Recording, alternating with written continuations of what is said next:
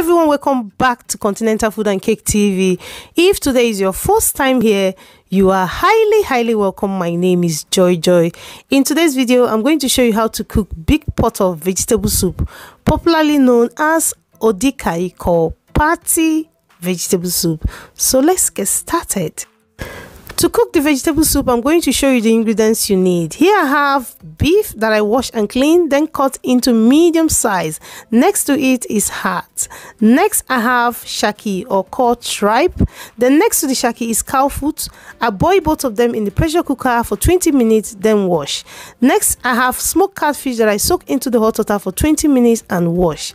Next to it is crayfish. Crayfish is 8 tablespoons of crayfish, which I added later as I was cooking seasoning cube 4 then i have hot pepper grinded pepper but you can also use fresh pepper.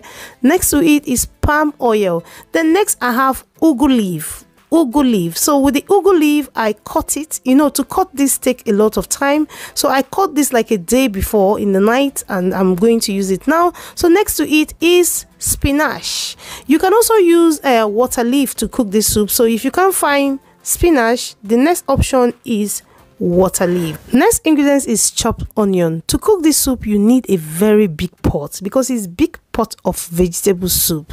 So I have my big pot. Next, I'm going to add my beef to the pot. After that, I add seasoning cube. After adding the seasoning cube, I add some chopped onion, then add some salt. After that, I add a tablespoon of grinded crayfish. Then mix together until it's well well combined. After that, I cover the pot with the lid, then transfer to a high heat to cook for at least 20 minutes.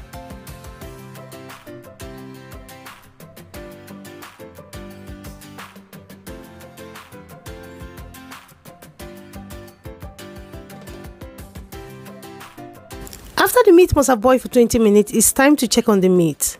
I mix together to combine. After that, I add my shaki and cow foot. Guys, remember I boiled or I pre-boiled my shaki with a pressure cooker for at least 20 minutes. Then cut it into medium size. So here I have my heart what I love about vegetable soup is that you can use any meat of your choice. You don't have to use what I'm using. I mix together until it's well well combined. After that, I add crayfish. Crayfish is going to add a lot of flavor to this soup. So when you're cooking this soup, just be generous with the crayfish. More crayfish than seasoning. Then add palm oil. With the palm oil you're going to use to cook this soup has to be a very quality palm oil. So this palm oil is from the village. Like I don't joke with my palm oil. I just buy straight from the village markets because most of the palm oil they've missed something. So mix together until it's well well combined. After that cover the pot and allow it to cook for another 20 minutes. It's been 20 minutes and it's time to check on our meat. I mix together to combine and give it a very good stir. If you're cooking with a big pot like this and you're not using firewood, it's best to keep stirring so that the heat will circulate. So I add chopped onion, seasoning cube, then add more crayfish for flavor. After that, I add some smoked catfish that I wash with hot water, add some salt, cover the pot again to cook for at least 15 minutes. At this point, I add scotch bonnet for that fresh flavor. It's hot. Then I add grinded hot pepper according to your preference. If you don't want your soup too hot, just leave it out. Then mix together until it's well well combined.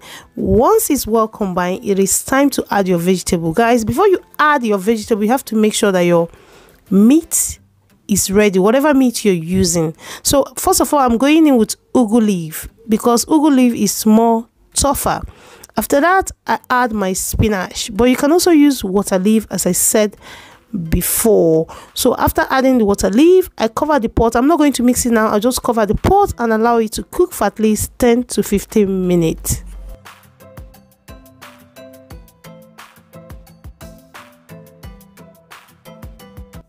After cooking the vegetable for 15 minutes, it's time to mix together until it's well combined with the meat. At this point, it's best to reduce your heat to the lowest because the heat from the meat is enough to cook the vegetable. Trust me, is enough. So you don't want to overcook your vegetable. Continue mixing. Mix very, very well until it's well well combined with the meat. And if you've not subscribed please hit that subscribe button give this video a thumbs up. Also share this video with your friends and family because i made this video for people who want to make you want to make party or you want to cook a bulk cooking or you just want to you know you're expecting visitors in your house and you want to cook vegetable soup this video will help you a lot. But i'm still going to link another video on how to cook vegetable soup in a small quantity in the description box so you want to check that out and you also want to check the list of the ingredients that i use in cooking this soup is going to be there so please feel free and subscribe and another thing I want to mention is that when you're cooking vegetable soup, remember that the vegetable is going to reduce in size, it's going to shrink. So when I'm mixing this, you're going to see that it's going to reduce to half of the pot. So have that in mind if you're cooking your own vegetable soup.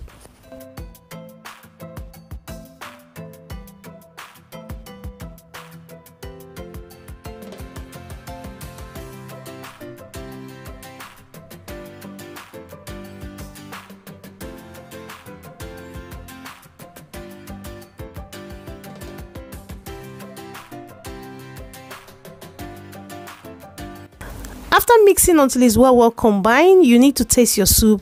Like this soup is going to a party so i always like to taste it before it gets there. So i wasn't happy with the taste. What i did i added more pepper because i need it to be a little bit spicy. I add some salt then add palm oil. I like to add palm oil at this point then add more crayfish to balance the soup if you're cooking vegetable soup you don't need to add too much seasoning. I'm telling you because vegetable on its own has its own natural taste. So you don't want to interrupt it with too much seasoning.